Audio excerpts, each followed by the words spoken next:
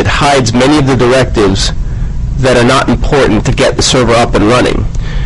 But oftentimes you need to launch yourself into advanced view to see those additional directives if there are performance issues or connectivity problems or things that are peculiar to your environment. Basic view again lists the key directives, the workgroup or realm that the server belongs to, its NetBIOS name, optional aliases. Your server can appear to be a different server on the network by publishing one or more aliases, a string, the interfaces that it should bind to. So these are like your base options as it's described. But again, if we expand using advanced, you'll see many more base options and many more options for the other categories. So now we see base options have, or base options has more options that we have not discussed. Bind interfaces only, NetBIOS scope, display character set, Unix character set, DOS character set. These are all additional items that work well with the default, but again, you may need to tweak depending on whether or not you have trouble. In the security section, another important section, you need to determine the mode in which your Samba server will authenticate. And here are the supported mo modes. We didn't discuss share because this is a mode you should stay away from. This is similar to assigning a password to a share, which is outdated and is not secure and not recommended. Server domain, ADS, and user are the modes you should look to use, primarily user or ADS. Whether or not passwords should be encrypted, definitely. Secure channel for the client and server automatically. If the server requests it, the Samba server, or if the remote system requests it, whether client or server, the Samba server will attempt to accommodate. The account that's to be used for guests guest requests get translated to the local Linux user nobody. And the local Linux user nobody has a high ID. If you grep nobody from etc password, it has a high ID of 65,534. So if a user connects from a Samba client or Windows client or Windows server to our Samba server as guest, guest will be translated if guest support is enabled to the nobody account. In this case, nobody has 99. NFS nobody has 65,534. So the default nobody account has the 99 ID. The NFS nobody, which we looked at during the NFS section, has the high ID of 65534. Whether or not users to be are to be invalid or validated, so you can determine, let's say there's someone who's been terminated from your organization and you need a quick way to deny them access to your Samba server, you can set them in the invalid user list field.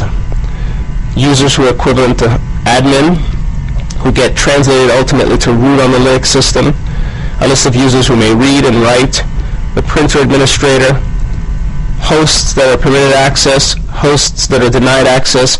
If the, um, the fields are blank, then all access is allowed. If there are modules that are to be loaded to help Samba do its job, logging options if you want to change the variable or add to the variable. Maybe percent %m doesn't suffice. Maybe 50 kilobytes isn't aren't enough. And again, when you click on help, you're propelled into a separate page which returns the explanation for the directive in a context-sensitive manner. So here we see log file, and it tells you how the log file works, and so on. You can learn more about it and that's for the log file entry. It just tells you that it's a path to the log file.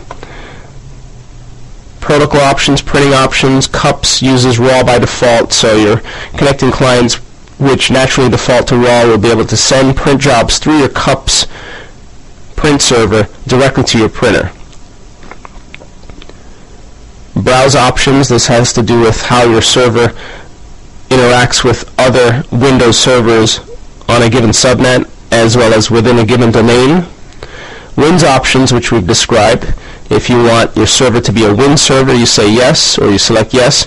If you want to indicate a remote WIN server, you specify one or more IP addresses, click on help, and it's again context sensitive. You'll be propelled to WIN server, and it tells you how you may use this particular directive. So you can indicate Win server in a variety of ways. The name of the server colon IP address, or just the IP address, or even multiple IP addresses delimited using space. So again, the help is context sensitive. items related to event log, winbind, such as how to map out the Windows users to local Linux IDs, etc. And for each of these groups, the advanced section opens up a bunch of direct directives that you have not seen. Now let's, in the interest of saving time, move forward and look at the share section. The share section is self-explanatory. It has basic and advanced views. When you click on the arrow in the choose share section, you see the shares that are available. Click on a share, click on choose share, and then you'll see the options that pertain to the share below its comment, its path. The path is dynamic, which is why there's no entry here. Invalid, valid, admin, read, write.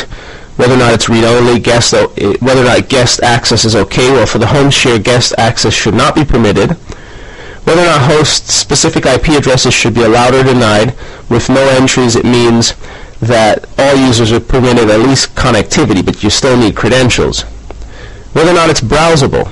This is a way to hide the share altogether, not using dollar sign like you do in Windows, but using a special Samba feature which hides the share.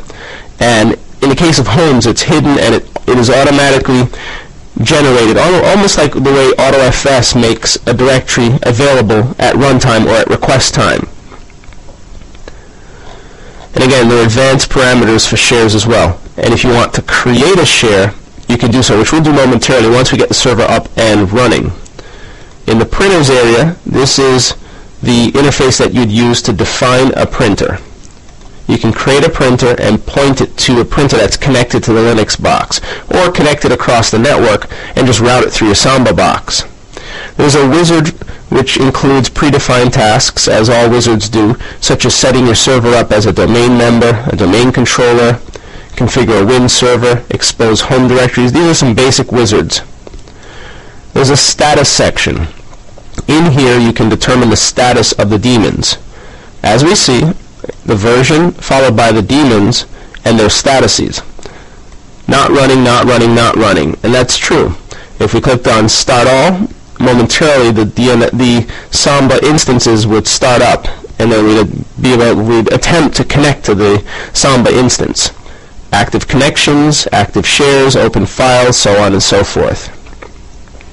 In view mode, you get a bird's eye view of the smb.conf file with the comments removed for brevity. So here are the items that are important. The workgroup, the string, the log file, its size, so on and so forth. And in the password section, the last tab, this is an area where you can change a user's password, such as root's password. And this is basically a front end to the SMB password file.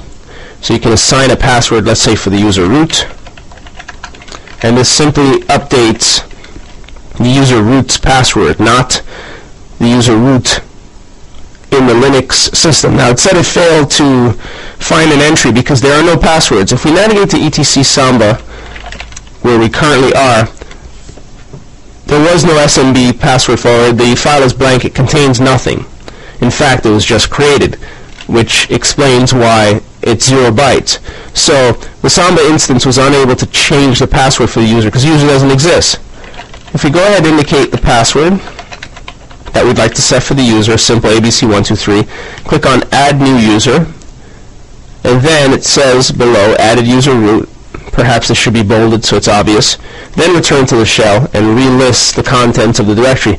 We now see that SMB password is 101 bytes, and when we cat SMB password, we'll see it contains the user root, followed by the string, the NT compatible string, which represents the user's password. And it also includes the user's ID. This is very important, by the way. ETC SMB password maps out to ETC password. Let's just note that. ETC Samba SMB password maps Windows users to etc password. And you can tell that it does this by looking at the field immediately following the user's ID. Root followed by 0 means this user is equivalent to root, followed by root's password, of course. Also notice that the secrets.tdb file, this is that TDB SAM file that we discussed briefly earlier, has been created. So it contains the user accounts database in a binary format, which is not visible to us. In fact, the file secrets TV, TDB will tell us that it's a database file. So again, we have one user, and if we connect from a Windows system or a remote Samba instance as this user root, we'll then be able to interact with the Samba server as root. And if you want to add another user, such as, let's say, Linux CBT, let's go ahead, find that Samba window. By all means do so. Just go ahead and type in the user's name with a password. And by the way, the password does not have to match the Linux user's password. Simply the username and user ID. So now this user has been added, and let's take a look at the contents of SMB password. It's now 208 bytes, and we will see that there's a new user, SM, in the SMB password file name, named Linux CBT with the ID 500. Now let's grep Linux CBT from etc password, just to show you that indeed ID 500 in SMB password matches ID 500 in etc password. And it's not just a coincidence. It's done by design to ensure that when a connecting user authenticates as Linux CBT, regardless of Windows password, they are able to be translated on the Linux file system as the user Linux CBT. It's done for that sole purpose of mapping the NetBIOS user to the Linux user. And you can control it using this interface or using SMB password. So for example, let's grep student from etc password. There we see student 1. If we use SMB password with no options, it prompts us for a new password for the currently logged in user. However, run it with help and you'll see how you can add a new user to the database. So SMB password with the A option, followed by the user's name, student1.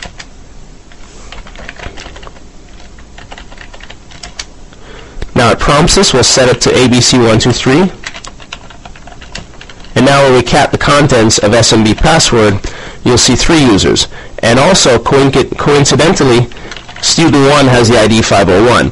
Let's grep again student 1 from etc password just to confirm that, and there you see the user has 501. So the mappings are done purposefully. Now with that all said, we need to start the Samba server and attempt to connect. It doesn't make sense